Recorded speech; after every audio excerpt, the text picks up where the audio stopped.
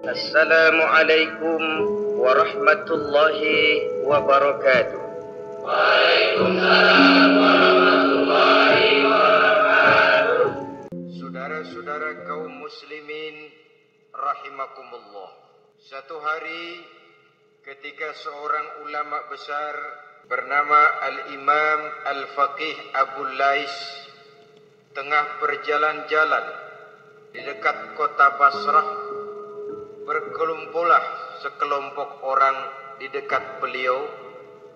Mereka datang mengajukan satu pertanyaan. Imam, kami ingin bertanya. Di dalam Al-Quran itu Allah subhanahu wa ta'ala menjelaskan Udu'uni astajib lakum. Berdoalah kepadaku. Aku akan jawab doamu Mintalah kepadaku Aku kabulkan permintaanmu Itu dan begitu janji Allah di dalam Al-Quran kami, kata orang-orang tadi, sudah lama berdoa kepada Allah. Tapi kenapa sampai sekarang doa kami ini belum dikabulkan? Katanya ud'uni astajib lakum. Kalau kamu berdoa, aku jawab, aku penuhi, aku kabulkan doamu. Itu janji Allah. Kami sudah lama berdoa pagi, sore, siang, malam Nyatanya sampai sekarang doa kami belum dikabul-kabulkan. Ini bagaimana? Apa ayat Quran salah? Apa Tuhan lagi lempengan gak denger?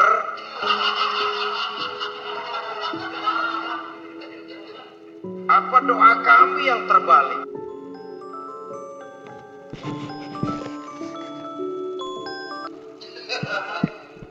Kelihatannya sepele saja ini doa tidak didengar oleh Allah. Permohonan tidak dijawab, tidak dikabulkan oleh Allah.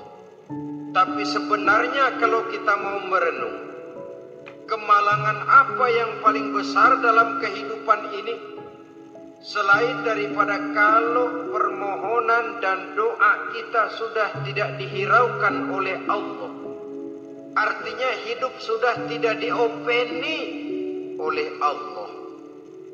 Jangankan Allah, saudara-saudara. Kita nggak diopeni sama mertua saja bingung. Ini mertua diem aja kalau saya salah apa salahnya Kalau ada yang dikepengenin apa kepengenannya Boyak ngomong kenapa dia begitu Ini tidak diopeni oleh Allah Kemalangan apa yang lebih malang selain daripada kalau doa tidak didengar oleh Allah. Itu sudah kemalangan yang paling malang, lebih malang dari kota Malang saya kira.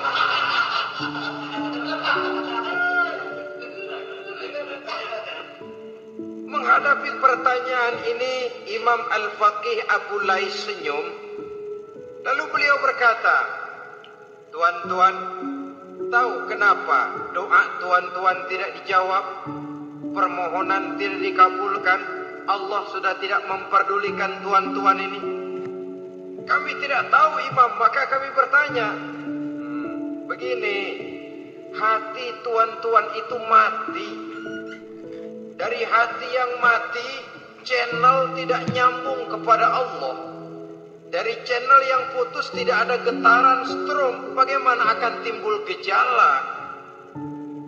Hatimu mati, jadi pantas kalau doa tidak dikabulkan, permohonan tidak dipenuhi, doa tidak terjawab, hatimu mati. Saudara-saudara kaum muslimin, dari hati yang mati ini, getaran tidak akan sampai ke hadratullah azza wa jalla. Nah, ini juga satu penyakit yang kita sangat khawatirkan, yaitu apabila hati kita sudah mati selagi jasad masih hidup. Artinya, jadilah kita bangkai berjalan di hadapan Allah Subhanahu wa Ta'ala. Sementara kita sangat disibukkan dengan menggali berbagai macam jenis obat penangkal penyakit zahir dan kita kurang perhatian untuk mencari obat penangkal penyakit batin yang kalau diserang penyakitnya menghancurkan kehidupan abadi di akhirat nanti. Perkembangan ilmu kedokteran nyata benar diikuti dengan perkembangan jenis-jenis penyakit. Makin maju ilmu kedokteran, makin modern penyakit. Ngerti juga rupanya itu penyakit. Dulu kita tidak kenal yang namanya AIDS. Kita tidak tahu yang namanya liver. Kita tidak kenal yang namanya stres. Paling yang banyak jika masuk angin dan sebagainya. Tapi baiklah, penyakit-penyakit batin yang menyebabkan hati menjadi mati dan dari hati yang mati doa tidak naik, tidak didengarkan oleh Allah Subhanahu wa taala. Nah, kata orang-orang tadi yang menyebabkan hati kami mati ini apa Imam? Beliau menjawab, pertama, araftumullaha wa lam tu'tuhu haqqah. Yang menyebabkan hatimu jadi mati pertama, kamu kenal benar kepada Allah. Tapi haknya untuk disembah.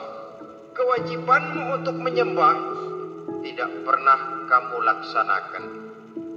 Bagaimana Allah tidak akan jauh dari kita kalau kita tidak akan mendekat mengadakan pendekatan kepadanya? Dan pendekatan kepada Allah hanya bisa kita tempuh melalui jalur kegiatan ritual ibadah. Allah akan terlalu jauh apabila kita hanya membicarakannya lewat filsafat dan renungan yang mendalam. Tapi Allah akan dekat dan terasa hadir dalam hidup apabila kita dekati ia dengan pelaksanaan ibadah kepadanya. Kamu kenal Allah, tapi hakmu untuk menyembah, kewajibanmu, kewajibanmu untuk menyembah, haknya untuk disembah tidak pernah kamu laksanakan. Kalau soal Allah kita kenal bukan main. Bahkan tidak hanya kita, kita mengajarkan kenal juga kepada anak-anak kita. Kalau ditanya siapa pencipta matahari, bulan dan bintang, Allah. Siapa pencipta lautan, gunung, hutan belantara dan sungai-sungai? Allah. Siapa pencipta bumi, matahari dan sebagainya? Allah. Sembahyang apa enggak? Bagaimana nanti?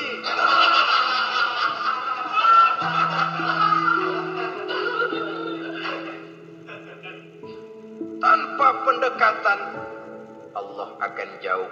Apabila Allah jauh, maka doa tidak akan didengarkan olehnya. Oleh sebab itu, logika mengajarkan kepada kita, berpayahlah dulu wa man ladzatu illa ba'da ta'ab. Innama al-usri yusra. Di balik kesulitan menunggu kemudahan. Nikmat baru akan terasa, kelezatan hidup baru akan terasa setelah kita jerih payah banting tulang peras keringat. Rasanya memang lebih nikmat sepotong singkong hasil cucuran keringat sendiri ketimbang roti dijejelin orang. Ini berarti kita ingin mohon pertolongan kepada Allah. Sementara dengan Allah sendiri kita jauh. Sama saja dalam kehidupan kita analoginya saudara-saudara. Orang tidak kenal kepada saudara. Tahu-tahu jauh dari saudara. Tahu-tahu datang mau minjem duit. Apa kesan saudara? Enak aja kenal enggak, dekat enggak, datang-datang mau minjem duit. Emang duit percetakan bapak lu.